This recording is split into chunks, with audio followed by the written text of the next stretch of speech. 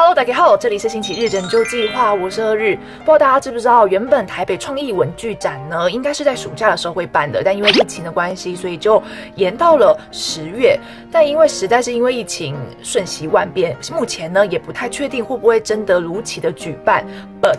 大家，我抢先呢收到了蛮多，我觉得他们长得挺好看，但是又真的很有实力的这一些新文具们，我们就一起当做是抢先逛台北创意文具展，一起来看看到底有哪一些文具吧。首先，我们先看到的是。大家有看到这个小标章吗？没错，它是今年二零二一年有获得日本文房具大赏的这一款荧光笔，它的牌子是 Sunstar。Sunstar 不知道大家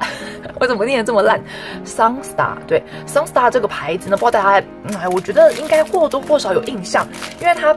嗯，蛮常出现在文房具大赏的。我觉得以以事物用具来说，他们真的还蛮求新求变，而且一直都有一些新的设计。然后说到 Sunstar 的话，我自己本身呢有一台这个，之前放在 IG 上面，收到了大家一致的好评啊的这个圆角器，它应该是第二代了。好，那我们来看一下这个荧光笔。那时候一上市的时候，其实还造成了一点话题呢，因为它长得不是那么一般，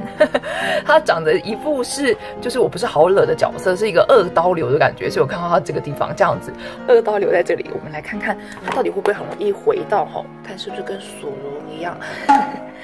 画重点，画重点，画重点，嗯，不太，真的不太会用到上面那个耶。你们看我这样随随随便画，那如果用到它的话，我可能就这样子一转。是不是就是可以写字哦？我们撇除它就是二刀流的部分，我不太确定孩子们会不会有一点害怕。但是比我想象中的，你看哦，因为我觉得它会这个设计，就有时候，比如说我们在画画重点的时候，对不对？有时候可能会想说这边想想标注一下，然后其实真的只要像这样一秒钟，就是这种 turn around 一秒钟，然后你立刻可以在这个上面有一个你自己的小注记，比如说你觉得这个东西很重要。三个颜色试了一下，我发现它的那个细致的那个笔头好像是零点五吧，然后它那个笔头呢的颜色很显色，哎，就是不像是上面这个小这个这个粉红色比较小荧光，但它下面像这个黄，这个黄我觉得蛮深的，我型的是很呃至少是看得到的黄，大家知道有时候有一些黄笔是看不到的。再来，我们看到这一个。Everybody，我真的跟你们说，我用我我我那天一收到，然后用了这个，我真的我有点吓到，可能是我没见过什么世面，但是我一定要跟你们说，因为他一样是有得过日本文房具大赏，而根据这个研发先生说，他研发了至少五年的时间，单手自动切割胶带台，这个东西我我跟大家说，我太有感了，坏，就是因为。我我应该有跟大家说过，我之前有在成品上过班嘛，然后大家知道在成品上班的时候，就是你必须要具备一个技能，就是你必须要包 sample，就比如说我们可能会要拆一些箱呃一些文具啊，或者拆一些书，拆给大家打开，想说哦里面长这样啊的那个 sample 的时候呢，我们外面呢当然都会包上一个 OPP 袋，真的是要是我那个时候有了这个的话。我我真的就会少摸很多次姐姐们的手，为什么？因为我那时候每次都看他们在贴，我就想说，有时候我就把他们手我说，你们手是没有指纹是不是？你们手我就他看一下，为什么总是可以就是不留下指纹，然后贴好书衣？对这个透明的来讲，我的指纹是满版，然后姐姐们的指纹它是一点点而已，给大家看它实际是怎么使用的。好，假设我现在想要粘这里，好，对不对？所以你看你要做事情，我就这样拿着它，然后把它像这样，有没有？这样的声音，然后再来就是这样这样这样这样这样，有没有一直听到声音，一直听到，一直听到，然后什么时候要结束呢？什么时候 ending 呢？要 ending 的时候，你只要这样拿起来，它就会 ending 了。前阵子其实有出一种是这样，你要再卡卡卡卡卡，然后它就会变得很长很长，然后你要再按一次，然后才卡断，然后你就要再拿着那个那个胶带嘛，对不对？我觉得那个还蛮适合纸胶带的，但我觉得是透明胶带的话，真的非常适合这个东西，尤其是我们要。比如说，我觉得像是包装礼物，有时候包装礼物，你你看，你你就是就是就是你在这样子在包嘛，对不对？其实你的你的手已经很忙了，就是你你的一个手要这样压着这边，另外一只手要是可以，它直接就直接这样子画过来的话，就你的手完全不会碰到那个透明胶带本人。尤其我这双手在弄透明胶带的时候，很常会就把它撕下来，然后有时候可能不小心撕太长了，他们就会他们就会因为疯，然后他们就会这样彼此那个透明胶带就彼此这样子束缚跟拥抱，然后他们就会这边你知道。大家知道我要说什么吗？然后它就会有点这样给你这样皱进去，有没有？然后你你有时候你要这样把它抠出来，都还抠不出来。但用这个，它就是整个是平整的耶。再来第三样。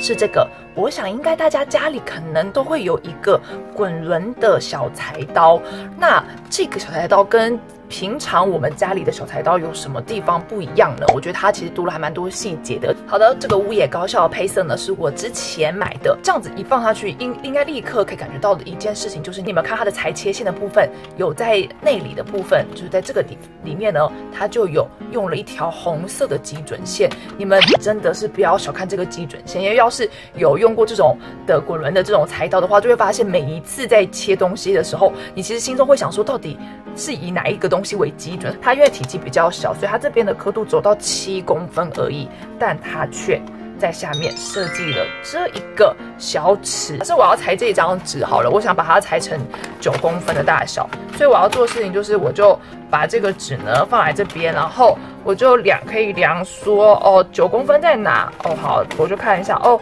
好，九公分在这，我这样裁下去的话，我就获得了一张旁边的这个宽是九公分的纸，就是它明明体积比它小，但却比它长。不知道大家有没有这个红色的线有很大的差别吧？你们看，接下来我现在想要留哪边，我就把它留在这个红色线的右边的位置，对不对？我觉得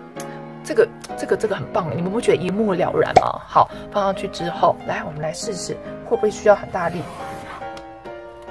轻松，四张，我们来感受一下有没有量好。我这个纸也比较厚一点呢，不是一般 A4 的纸，我们来试试看。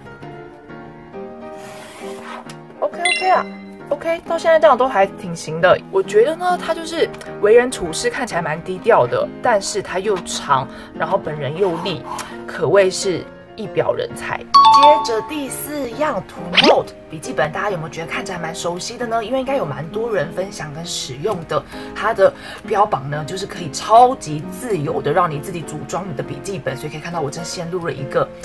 选择题当中。后来选了一个我自己觉得非常大胆的蓝绿撞色。再来选完封面封底之后，有看到我立刻删除了这个选项哦。要选择的是这个环，大的环呢可以装到八十张的纸，小的环是五十张。我这样的交叉比对之后，后来还是决定选个透明的吧。再来连里面的内页，我看了一下，我选的这个是方格的，然后我另外一半呢想要配的是空白页。我真的觉得就是 这个环，我一直在一直在组装的时候，一直不小心的，一直不停的玩它，就有种大珠小珠落玉盘。好，就这样玩的之下呢，这个笔记本的轻松的组装好了。你们看，它可以非常轻松的就把这个内页拿下来单独做使用，所以我觉得它就是既保有了活页笔记本的这种自由性，然后又比活页笔记本呢更简单。再来这支自动铅笔，我在 IG 上面好常被问啊，因为就是它长得美，而且呢。使用上面我真的觉得蛮好用的，不太容易会断笔芯。现在尤其是这个时候，我们何不就一起来写一页，把你我他心中这个共同的甜蜜的烦恼，一起来把它记录下来吧。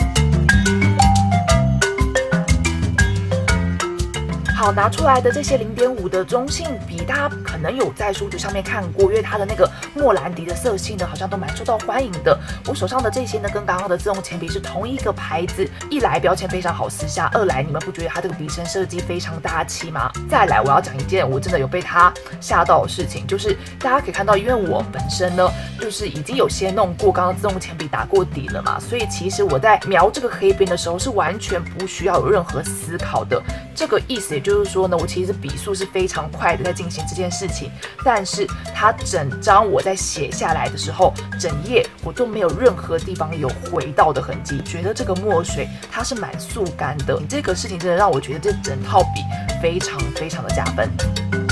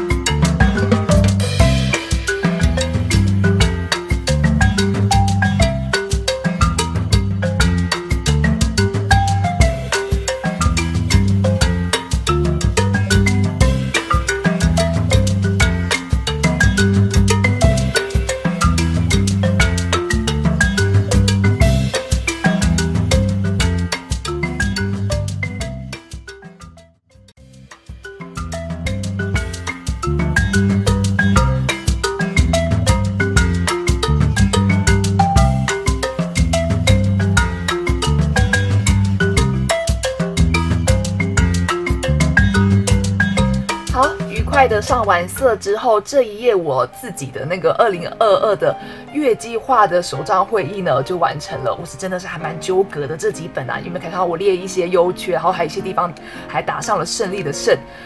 最后拿上的这个分隔页。我觉得灰色非常好看，这个分隔页摆在这边之后，随时呢，你看还有个小凸出来的耳朵，随时呢，我们摸一下人家这个耳朵，就可以找到我的这个 心中的烦恼。不知道大家你们的决定的怎么样了呢？OK，好，那这次刚刚上面介绍这六样，我觉得他们长得呢，哎，好垮，然后实际上呢，他们也都用起来非常的北拜的 这六样文具，平常呢都可以在各大的电商平台买到它们，但这一次他们全部一起总动员出现在台北创意文具展的 A 六一八 Super 文具摊位，请大家去文具展的时候一定要记得去找他们玩哦。